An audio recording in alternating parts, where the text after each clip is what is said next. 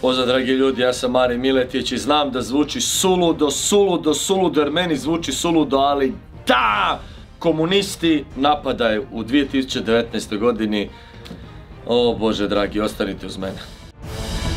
E, ljudi, znate šta, pustio sam tu na pod, da Bog prosti već sam popio više od pola. Lavaca, talijanski espresso, vrhunski espresso i to ja evo u ovo obskurno vrijeme pijem. E, 23 sata 05, a mi snimamo vlog, e, koji je danas dan Beno? Čekaj stani, danas je četvrtak.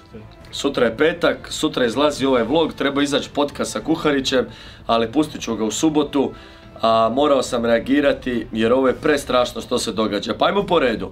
E, na Twitteru sam prvo e, vidio, e, na Twitteru je baš jaka anarcho-liberalna lijeva ekipa i ima masu ljudi koji baš mrze crkvu. Mrze crkvu, mrze kršćane, mrze Hrvatsku, mislim to...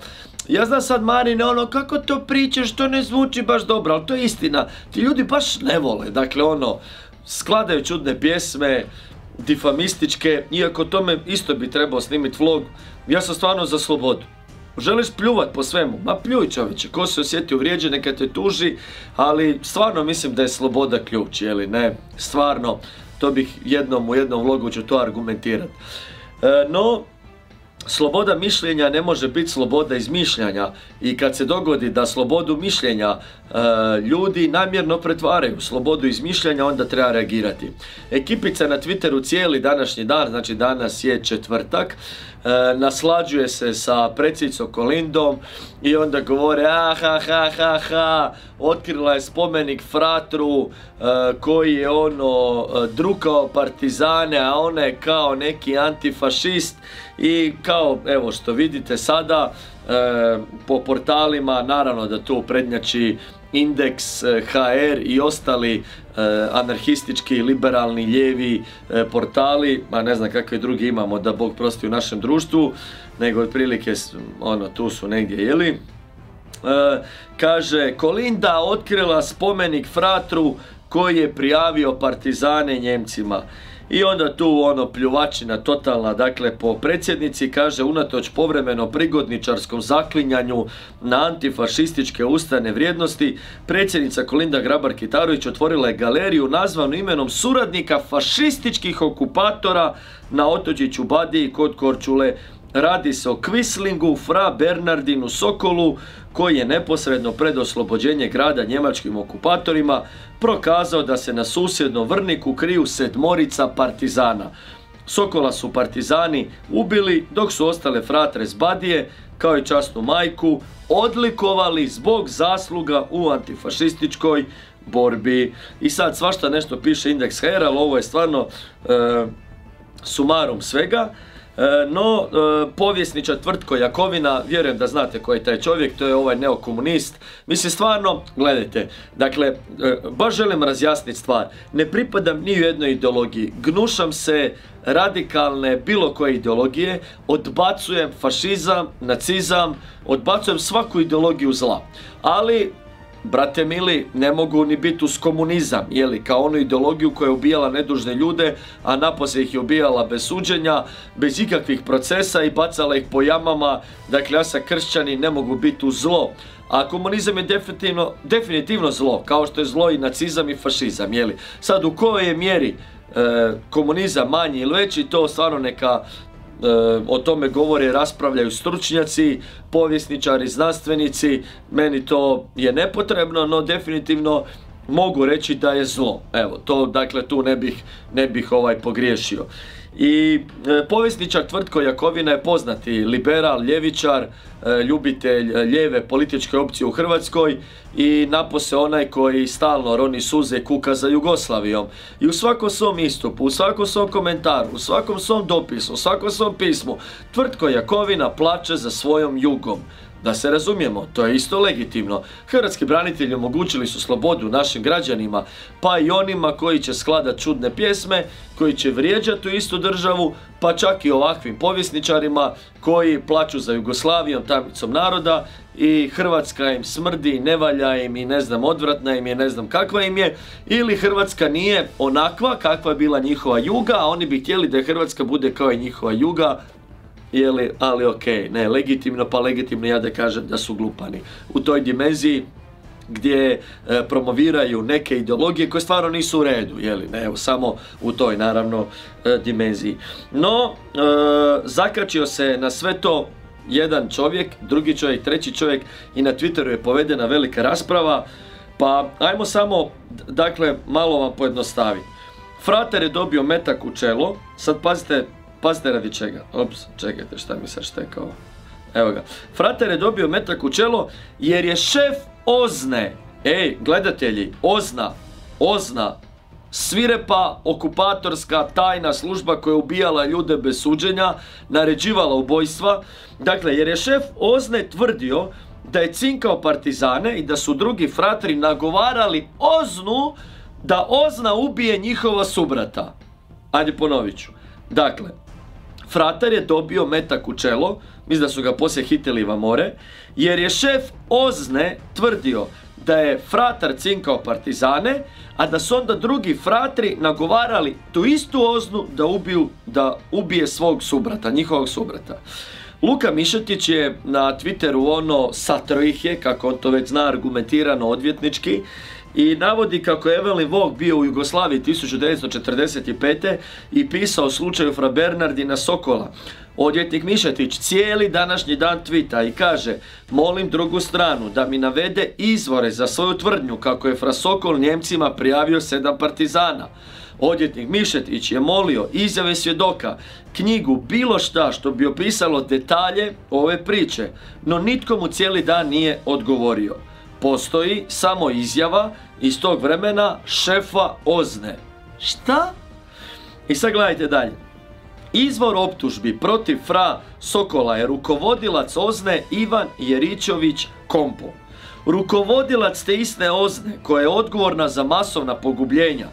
Je li sasvim moguće da je baš Ivan Jeričević Kompo imao razlog sakriti pravu istinu o pogubljenju Fra Sokola, pita se odjetnik Mišetić. Koliko je vjerodostojno svjedočenje rukovoditelja Ozne da je Frasokol pogubljen na poticaj ostalih fratara? Anto Mikić na Twitteru navodi kako je u tom svjedočenju, slušajte sad, slušajte ovog ludila, slušajte ludila mentalni komunista danas u 2019. E, zanimljiv navod partije kako je u navedenom razgovoru Fra Bernardina s njemačkim zapovjednikom bio potreban tumač prevoditelj Vilin.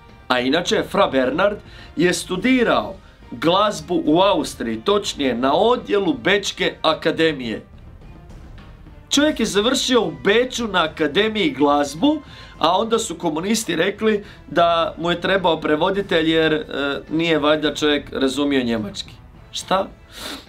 Luka Mišetić, znate tko je to odvjetnik generala Gotovine, jel tako? Poslao je nekoliko upita, pa je pitao imena i prezimena tih ubijenih partizana, no nitko, napominje ponovno, ništa mu nije odgovorio. Onda se javio Mikić, pa je objasnio kako je komesarski funkcioner Lozica u zborniku 90. naveo četvero ubijenih, no problem je u tome što autori koji su se bavili tim likvidacijama tvrde kako nitko tih partizana s tog popisa uopće nije bio strijeljan kako nitko nije tako bio ni ubijen ako nije bio strijeljan. E, navodim sad izvore, molim vas. Ogranak Matice Hrvatske, Zadar, broj 34, 2017. stranica 188. do 192. Pa vas molim da pročitate, da se upoznate i vi e, sa ludilom ovih e, obmana koje ljevica u nedostatku stvaralačke kreacije širi po drevnoj metodi e, tisuću puta ponovljena laž postaje istina, a eto, otprilike im je isti tata đavao i ovima i onima i nacistima i komunistima. Koga baš zanima, navodi Mikić, može pročitati cijeli rad, tu je i fotografija samostanske kronike, uočit ćete kako se jedan od strijeljanih partizana, pazite sad, spominje kao nalogodavac, odnosno izvršitelj Sokolovog ubojstva.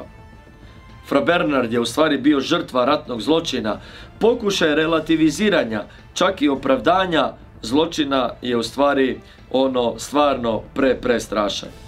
Na netu možete pronaći Dubrovnik pres e, dubrovnik e, pres.hr i ovdje vam je detaljno su fratri objasnili cijelu situaciju o lažima tvrtka Jakovine, o lažima indeksa i svih tih obskurnih portala koji ne mogu smisliti kršćane, crkvu, svećenike pa ono padaju u trans, ono valjda se pale, ne znam šta, kad god se pojavi najmanja mogućnost e, da je crkva negdje ono bila s nekim nacistima, nešto s nekim zločinima, odmah oni u trans padaju, ono, oni su odmah gotovi, to je prestrašno.